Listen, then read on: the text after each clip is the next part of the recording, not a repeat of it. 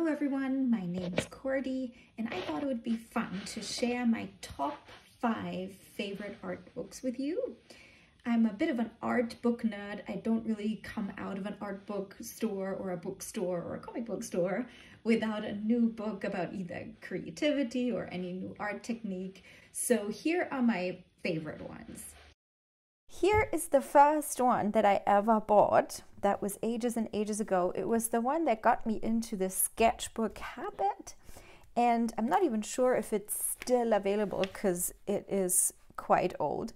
Um, I bought it in the US when I was working there as an au pair. Let's have a quick look here in the content.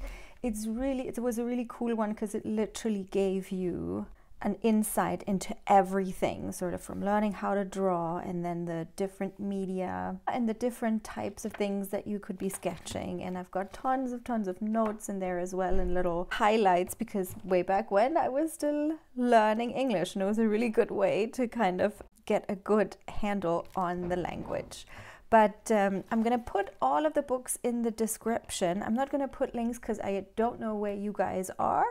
So it would be silly for me to just put the links from my country and then you wouldn't be able to, to find it. So I'll just put the book in the title.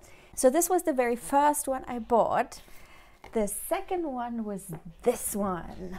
I guess this one is a little less an art book that teaches you techniques. It was really more like a, a, science book, but I thought it was really, really interesting and it really changed the way I was drawing because there are exercises in there that teach you how to use that other side of your brain. Now, this one is actually a new edition that I bought later on. The first edition looked a little bit different, but it's actually updated.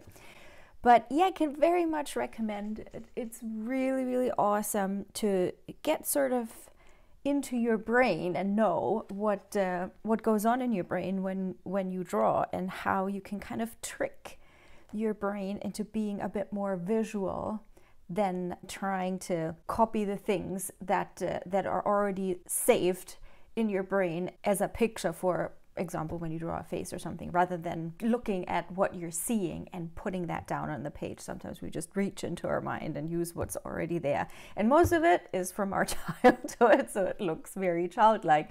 And um, for me that was a really big sort of breakthrough to understand well hold on a minute this is how i develop my drawing skill. This is how i look at things and put down the lines and put down the shadows and the values of what i see not what i think it looks like.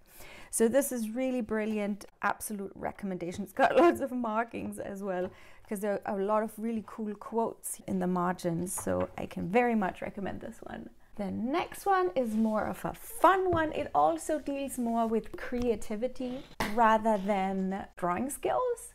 The author Jo Badonsky is a fabulous lady and she came up with this concept of creating nine modern day muses and a bodyguard. To sort of guide you through creative blocks.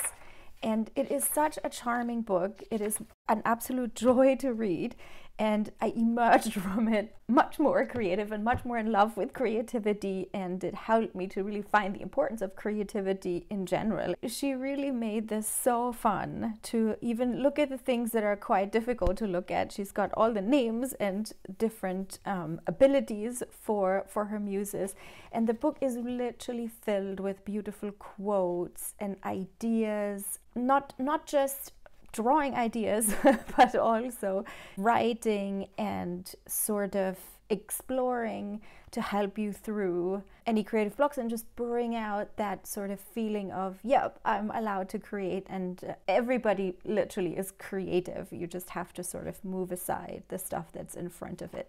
The I think the cover of this book looks very different now, but I can very much recommend it. If you ever felt like there was something blocking you from picking up a sketchbook and a pencil to draw, then please do read this. It's so, so fun. Now, the next one here is more of a visual inspiration. This one I flip through here and there just to get ideas. It uh, was my first sort of venture into drawing things that are not in front of me, but that are sort of more in my head. And I find this book really helped me to understand how to bring those two kind of together to use things in real life and then turn them into something completely different in my sketchbook. I do have a video that is um, that is me drawing squiggle people on a sort of fantastical landscape. And I, I used just a leaf the photograph of a leaf to create that kind of fantastical structure where the squiggle people can dance around on. Th this is where I kind of learned how to get into things that are not real they're just sort of fantasy art. And it's very nice and short. The chapters are nice and short and again here there's lots and lots of stuff that I underlined or highlighted. It also got beautiful, beautiful art. It's a little bit old, so I don't know if it's still available. And I think I bought it in America, so it might not even be available anywhere else that sometimes happens. Next up, The Creative License by Danny Gregory. I think Danny Gregory also has a YouTube channel where he does sketchbooking, so I'll put his link below.